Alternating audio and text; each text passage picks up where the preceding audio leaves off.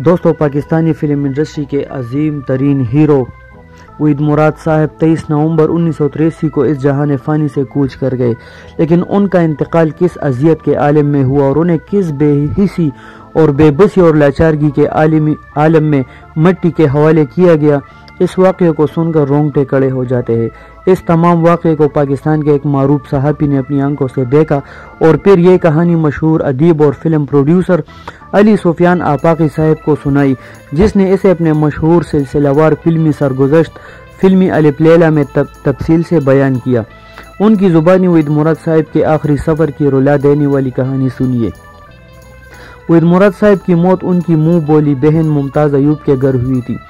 Film industry के खूबरू शोहरत याफ्ता और दौलतमंद हीरो वहीद मुराद के पास उस वक्त कोई दोस्त या रिश्तेदार मौजूद नहीं था उनकी बेगम सलमा मुराद उन्हें छोड़कर कनाडा चली गई थी वहीद मुराद साहब का इंतकाल सुबह साढ़े दस बजे के करीब हो गया था मुमताज़ अयूब ने जब वहीद मुराद के चचा सलीम मुराद को लाहौर फ़ोन करके ये खबर सुनाई तो दोपहर डल चुकी थी और जल्द ही ये खबर जंगल की आग की तरह पूरे पाकिस्तान में फैल गई लेकिन किसी को यकीन नहीं आ रहा था और लोग इस वाक़े की तस्दीक के लिए अखबारों के दफातर में फ़ोन करने लगे। फिर यह तस्दीक हो गई कि वहीद मुराद साहब की लाश ताबूत में रख कर कराची एयरपोर्ट पहुंचाई गई है, ताकि उसे लाहौर ले ले जाया जा सके। कराची एयरपोर्ट पर बहुत से सहाफ़ी जमा हो गए और उनमें से वहाँ मौजूद एक सहाफ़ी के मुताबिक सबसे पहले हम लोग पी ए कार्गो इंचार्ज से मिले, उस वक्त शाम के सात बजे थे। कार्गो अपनी कार्गो इंचार्ज ने बताया कि लाहौर ले जाने के लिए एक ताबूत लाया गया है और मैयत का नाम वहीद मुराद बताया जाता है। लेकिन हमें यकीन नहीं था कि यह ताबूत मुल्क के सबसे मशहूर हीरो वहीद मुराद का होगा। इस सहाफ़ी के मुताबिक हम बेचैनी से इंतज़ार करने लगे और हमने देखा कि एक पुरानी सुजुकी वैन में एक ताबूत बेयारों मददगार पड़ी हुई है। और सिवाय वैन ड्राइवर एक मजदूर के कोई भी इस ताबूत के साथ नहीं था।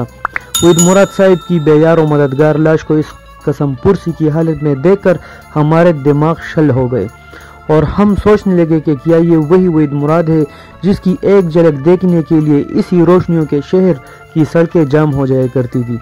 और आज इस एयरपोर्ट में मौजूद हज़ारों लोगों में किसी एक को भी ये मालूम नहीं कि इस पुराने वैन में पड़ी ये लावारिस लाश दरअसल वहीद मुराद साहिब की है।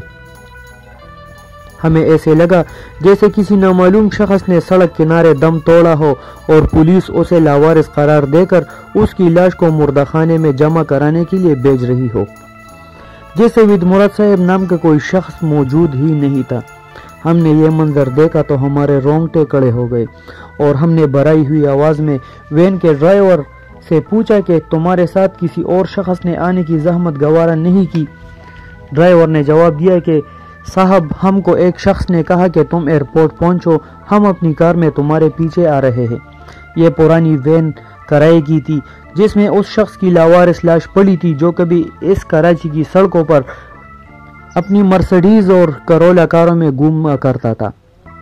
लेकिन अफसोस आज उसकी ताबूत के साथ न ही उसकी बीवी बच्चे थे, न ही दोस्त और न ही उसकी मुँह बोली बहन, जिसके घर ईद मुराद साहब ने वफात पाई थी। मैंने वैन ड्राइवर और मजदूर के साथ मिलकर ताबूत को निकाला और उसे पी के सामान तोलने वाली मशीन पर रख दिया। उसका वज़न 100 किलोग्राम था, जिससे अंदाज़ा होता है कि वहीद मुराद साहब कितने कमज़ोर हो गए थे। मैंने ड्राइवर और ताबूत लाने वाले मजदूर से पूछा कि कम अज़ कम इतना तो बता दो कि वहीद मुराद साहब को गसल दिया गया था या नहीं। और क्या उसकी नमाज़ जनाजा पढ़ने की किसी ने जहमत भी गवारा की थी या नहीं? दोनों ने कहा कि हमने किसी गसल देने वाले को नहीं देखा और ना ही हमारे सामने किसी ने नमाज़ जनाजा पढ़ी। मैंने साथ साथी सहाफियों से कहा कि पूरे कराची में वहीद साहब का नमाज़ जनाजा नहीं पढ़ा गया।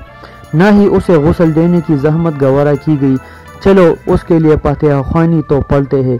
और फिर वज़न तोलने वाली मशीन पर रखी बेयार मददगार लाश की हमने फातिहा खानी पढ़ी। इसके बाद हमने वज़न ले जाने वाली माल बरादर टेले में ताबूत को रखवाया, जो ताबूत को जहाज़ की तरफ़ ले गई। और इस दौरान वही मुराद साहब की मुँह बोली, बहन मुमताज़ अयूब के शोहर कादिर मोसानी आ गए और ताबूत के बारे में एयरपोर्ट के अमले से दरियाफ्त करने लगे। मैंने उनसे पूछा कि असल बात तो बताए कि वहीद साहब की मौत किस तरह वाक़ हुई। कादिर मोसानी ने जवाब दिया कि एक दिन एक दिन से मेरी उनसे मुलाकात नहीं हो सकी थी। तीन चार रोज़ पहले वहीद मुराद अपने बेटे आदिल मुराद की सालगिरह के लिए बहुत सा सामान खरीद कर मेरी दुकान में रखवा गए थे। मैंने अजराह मज़ाक उनसे पूछा कि वहीद साहब, क्या वजह है? पहले तो आपने कभी इतना सामान नहीं खरीदा था। वहीद मुराद साहब ने जवाब दिया कि यार, पता नहीं, आइंदा साल तक कौन ज़िंदा रहे। इसलिए इस बार दिल खोल कर बच्चे की सालगिरह मनाऊँगा। इंतकाल के दिन तकरीबन साढ़े दस बजे मुमताज़ अयूब घबराई हुई, मेरे पास आई और मुझसे कहा कि मेरे साथ चलिए। वहीद की हालत बहुत ख़राब है। जब मैं उनके हमरा पहुँचा तो मैंने देखा कि वहीद मुराद अपने ड्राइंग रूम में बिजली के सोच के नज़दीक वहीद मुराद अपने ड्राइंग रूम में बिजली के सोच के नज़दीक गिरे पड़े हैं और उनका चेहरा जर्द है। मैंने उनकी निबस देखी तो चल नहीं रही थी। हमने घबरा कर डॉक्टर को बुलवाया, जिसने आकर मुआयना किया और उनकी मौत की तस्दीक कर दी। दोस्तों, इस तरह ईद मुराद की लाश लाहौर पहुंचाई गई, जहाँ उन्हें हज़ारों पर सितारों और फिल्मी शख्सियात के सामने कब्र में उतारा गया। उनकी बीवी, उनकी सारी दौलत अपने नाम करके वहीद को बेसहारा छोड़ कर चली गई थी। जब तक कनाडा से वापस आई, तब तक वहीद मुराद मट्टी मट्टी तले जा चुके थे और उनका आखिरी दीदार भी उसे नसीब न हो सका। वहीद मुराद साहब की खबर उनके मशहूर पाकिस्तानी शख्सियात के कब्रों में एक है।